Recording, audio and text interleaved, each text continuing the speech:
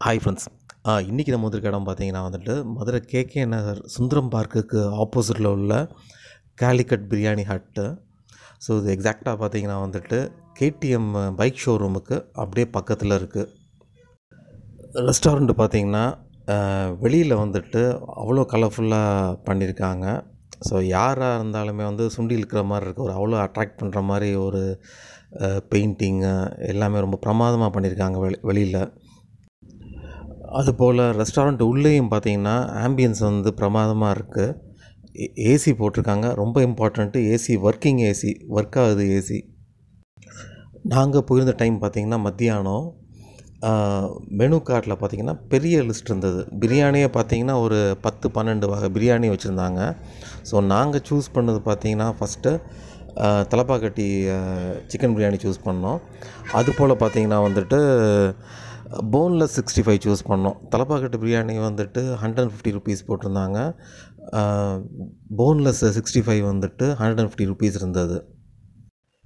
Menu கார்டில் அடுத்த பக்கம் புரட்டினா சிக்கன் காம்போ த்ரீ ஹண்ட்ரட் ருபீஸ்னு போட்டிருந்தாங்க. ஸோ அதில் பார்த்தீங்கன்னா அதுலேயும் வந்துட்டு நிறையா காம்பினேஷன் இருந்தது.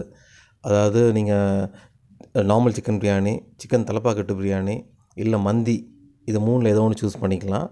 ப்ளஸ் அது போக பார்த்தீங்கன்னா சிக்கன் சிக்ஸ்டி ஃபைவ் ஒரு கிரேவி ப்ளஸ் ஒரு ஜூஸ் அப்படின்னு போட்டிருந்தாங்க. ஸோ நாங்கள் அந்த பழைய ஏற்கனவே சொன்னதை கேன்சல் பண்ணிவிட்டு ஸோ இதை ஆர்டர் பண்ணிட்டோம். அந்த காம்போ சிக்கன் ஆர்டர் பண்ணோம். பொலைட்டாக நாங்கள் பு புதுசாக கொடுத்த ஆர்டர் அக்செப்ட் பண்ணிவிட்டு பழைய ஆர்டர் வந்து கேன்சல் பண்ணிக்கிட்டாங்க.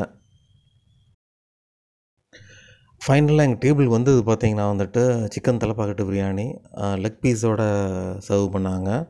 அதுக்கப்புறம் பார்த்திங்கன்னா சிக்கன் சிக்ஸ்டி ஃபைவ் வந்து நல்ல பெரிய பீஸு ரெண்டு பீஸு அதுக்கப்புறம் அந்த ஸ்பெஷல் கிரேவின்னு சொல்லி பார்த்திங்கன்னா வந்துட்டு பெப்பர் சிக்கன்னு நல்ல ஸ்பைஸியாக அதுவும் பார்த்திங்கன்னா ரெண்டு பீஸோட சர்வ் பண்ணாங்க. பழையபடி பார்த்திங்கன்னா ஜூஸ் வந்துட்டு வாட்டர்மெலன் ஜூஸ் வந்து சர்வ் பண்ணாங்க. சிக்கன் பிரியாணி பார்த்திங்கன்னா ஓரளவுக்கு ரீசனபிளான குவான்டிட்டி அதிகமாக ஸ்பைஸியாக இல்லை. அது அது போல் ரொம்ப ஹாட்டாகவும் கிடையாது. மைல்டாக இருந்தது. சிக்கன் சிக்ஸ்டி ஃபைவ் பார்த்திங்கன்னா நல்லா சாஃப்டாக இருந்தது. மாட்ரேட்டு ஸ்பைசி மாட்ரேட்டாக ஹாட்டாக இருந்தது. பெப்பர் சிக்கன் கிரேவி பார்த்திங்கன்னா வந்துட்டு நல்ல ஸ்பைஸியாகவும் நல்ல ஹாட்டாகவும் சர்வ் பண்ணாங்க. அது போக வாட்டர்மெலன் ஜூஸ் வந்துட்டு நல்ல ஒரு பெரிய கிளாஸில் சர்வ் பண்ணாங்க.